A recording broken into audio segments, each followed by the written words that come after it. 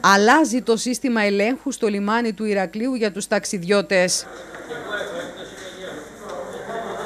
Προκειμένου να γίνεται έλεγχος επιβατών και αποσκευών στο λιμάνι του Ηρακλείου για αυτούς που ταξιδεύουν και για πλοία τα οποία ε, είναι αλφας κατηγορίας ή κάνουν ταξίδια πάνω από 20 μίλια από τη στεριά. Από 1η Νοεμβρίου όλοι οι επιβάτες θα περνούν από μαγνητικές πύλες και με μηχανικά μέσα θα γίνεται η σάρωση των αποσκευών τους στο εσωτερικό του επιβατικού σταθμού. Έχουμε ένα διάστημα ενός μηνός να κάνουμε αυτές τις δοκιμές, αλλά θα τις κάνουμε κυρίως και ρίχνοντας το βάρος στους επιβάτες. Δηλαδή, οι επιβάτες οι οποίοι έρχονται για να επιβιβαστούν στα πλοία θα πρέπει να περνούν από τον έλεγχο ε, από θερμική κάμερα. Ε, οι αποσκευές που κρατάνε θα πρέπει να περνούν από X-ray. Στη συνέχεια με λεωφορεία θα μεταφέρονται στα πλοία με τα οποία πρόκειται να αναχωρήσουν. Θα γίνεται ένας έλεγχος όπως ακριβώς και στο αεροδρόμιο. Τα δύσκολα αφορούν τα οχήματα που πρόκειται να ταξιδέψουν, αφού ο σχολαστικός έλεγχος που προβλέπει η οδηγία με τις υπάρχουσες συνθήκες στο λιμάνι του Ηρακλείου μάλλον θα επιφέρει κυκλοφοριακό κοφούζιο. Είναι στη μελέτη πώς να το κάνουμε, γιατί διαφορετικά είναι ο άνθρωπος που θα κρατάει τη βαλίτσα του να μπει στον επιβατικό σταθμό και διαφορετικά